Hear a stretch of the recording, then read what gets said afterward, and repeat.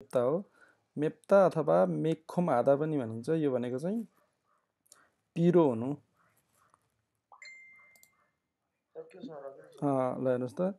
मात भनिन्छ। मात भनेको के हो त? स्वाद। मेप्ता अथवा मेखोम हादा भनेको पिरो हुनु।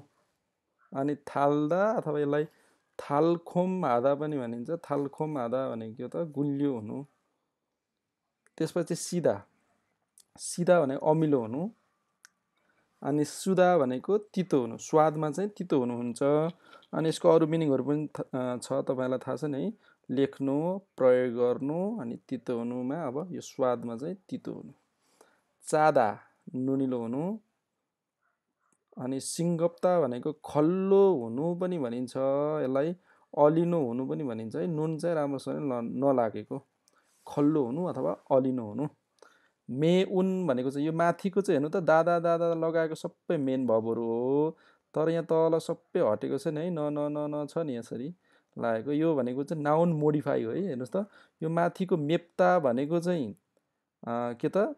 पिरो हुनु हो भने यो मेउन भनेको पिरो मात्रै भयो नाउन मोडिफाई भयो।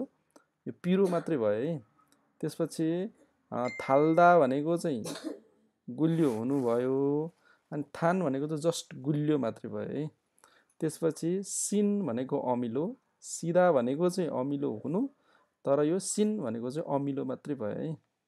अनि सुदा भनेको तितो हुनु अनि सुन भनेको चाहिँ फेरि तितो मात्रै भयो है जस्ट तितो।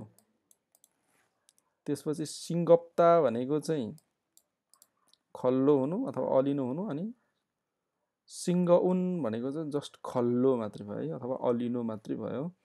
अनि चादा भनेको नुनिलो हुनु अनि चान भनेको चाहिँ नुनिलो मात्रै भयो है। यसरी चाहिँ स्वादहरू चाहिँ यस्तो रहेको छ।